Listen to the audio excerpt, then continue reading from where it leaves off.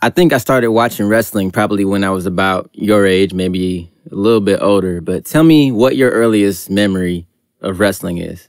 So I was on the couch with my parents and we were watching I think it was hockey and my parents they turned on wrestling and I was very interested in it and I had no clue what it was at the time and they were explaining to me what it was Okay. and there's like one question I just had in my mind I have no clue why but the question I asked was why are they wrestling in their underwear but now I know that it's not called underwear it's Yeah. called trunks but that's how I kind of fell in love with wrestling Yeah, which is kind of cool because like now you're at a point where years later you're you're into it. Like you actually have plans to become a wrestler, dreams to become a wrestler. So what's what's it going to take to actually make this happen?